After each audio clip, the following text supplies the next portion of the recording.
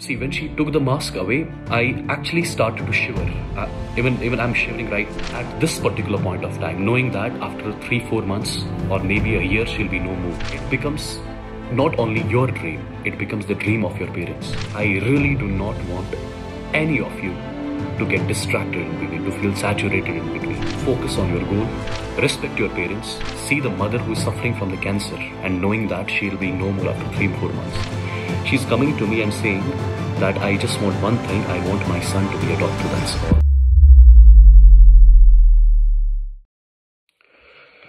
Hey guys, good evening and welcome back again to your Unacademy NEET English channel.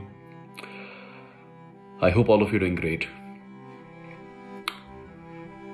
My dear students, an unexpected event took place yesterday with me.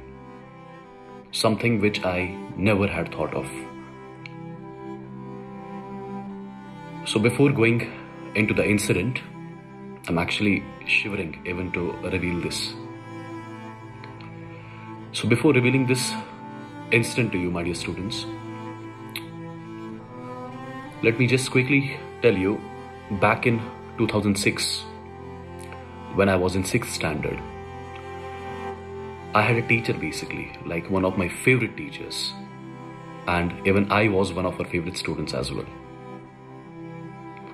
Why I was her favorite student? Because you know, during the school time, the only criteria for a student to become teacher's favorite is when the student completes the homework on time, becomes punct. Uh, I mean, if he or she is the punctu- punctual guy or girl in class, right? That is the criteria. So, those were the things which I used to fulfill basically. So that is the point.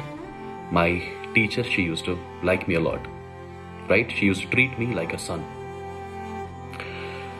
So, dear students, it was 2006 when I saw my teacher for the last time, right? But then last year, when I was in my offline center taking class, suddenly I got a call from one of the coordinators that there is one, there is a woman basically, right? She claims to be your teacher, she wants to meet you. Yeah? So I went out of the class, I saw her, and like it was the happiest moment for me to see her after like 20 years almost, like 17 years. And the point of her coming to the offline center was it was her son basically right so she he had entered into class 11th and she wanted to enroll her son into the offline center in which i am teaching chemistry. So she started talking about her son that she wants him to become the doctor and stuff like all what all the parents expect. And he's actually a good student basically right? Uh, he studies well he's punctual he's hardworking right? And every student right all the parameters which are required for the NEET examination to be qualified he is fulfilling all the parameters. Nowadays students till last year everything was okay. She used to i mean my teacher she used to call me at times like how is his performance and all? Like everything was perfectly fine. Yesterday when I was going to the center, I was just parking my car and I saw a woman wearing the mask. I could not recognize who she was. I got out of the car and got into my office, took one class, and I came back to my office, to my room where I usually sit. So again, a coordinator is coming to me and saying there's a woman she wants to meet and she again claims to be your teacher. I got it like it would be that same ma'am, right? She would want to meet me basically. So I told the coordinator to get her inside, right? She got into my room, and my dear students, when she entered into the room, she was wearing a mask. I could not recognize her. Like her eyes, they were like full of tears what she exactly did, she took the mask away. And when she took the mask away, her half of half the face, from hair till hair, it was not there, including the eye and half of the face was cut. It seems she had a surgery, and the doctors had told that you have to we have to take away the half of your face. See, when she took the mask away, I actually started to shiver. Uh, even even I'm shivering right now. I could not recognize her. And she started crying. And she's like, I'm your ma'am. I got up from the. I got up. Like, I didn't know what to do, like, what to say. Eventually, I said, ma'am, like, what happened? What is it? She started crying. And she told me that two months back she was she got diagnosed with the cancer and the doctors had no option other than to take the half of the face out. Like I really did not know, like I, I, I, I did not know like what to do at that point of time. I was shivering. Like my eyes actually they were full of tears and I started to cry as well at that time.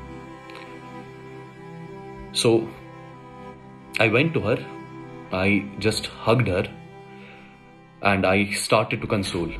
I started to console her. I thought the reason why she came to me it would have been because she wanted some financial help or something. I started to she did not ask for it, but I thought it would be, it would be the same reason. That's why she she's here. So I started telling her that I'll send you to like the best cancer hospital, this that. You need not to worry. I'll take care of the expenses and all. But she was like, No, I have not come here for that. The doctors have told me it is the last stage. And I mean, you cannot survive for more than three months. So, my dear students, when a mother at this particular point of time, knowing that after three, four months or maybe a year she'll be no more, like what do you expect from a mother? I was expecting that she would ask for some help or something. But no, she did not ask for it. She's like, Wassim, I do not want it. I have come here for one simple reason. That is my son. I want you to take the responsibility of my son, and I want my son to become a doctor. That's all what I want. I do not want anything else. And my dear students, when she told that, okay, I do not want anything else. I just want my son to be a doctor. So take care of him. Like whatever is required, just fulfill everything. Just be with him when I'll I'll not be there. You have no idea like what kind of feeling it was. Again I started to console, I was like, you need not to worry, everything will be taken care of and you'll be fine also, right? The point is not that. The point is a mother knowing that after three, four months, like I cannot say it also, she won't be there. And still she's coming for her son basically. Right? She want her son to be a doctor. Now you can imagine, my dear students, the love and affection from the parents which we get. the kind of sacrifices which our parents do to to I mean to take care of us like I don't think no other person can ever do that. Be it your brother sister your husband wife. I I do not think so. So why I wanted to reveal this with you why I wanted to share this story with you which just happened yesterday. The point is my dear students when you enter into class 11th, right?